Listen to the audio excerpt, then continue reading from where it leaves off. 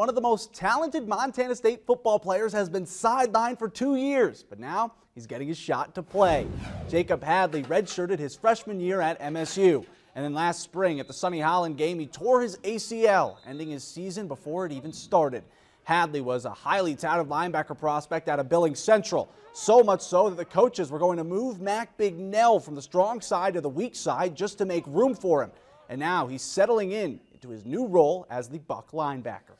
I think it makes me appreciate a lot more.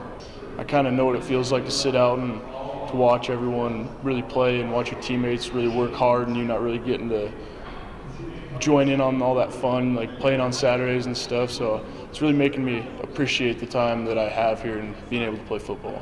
Right now, it's it's it's a kind of a learning experience for me. I've never really played on the the front line before, so I'm really get, starting to learn some of those techniques and fundamentals that it's going to take to play on the D line. So I'm excited to see how it how it keeps on progressing.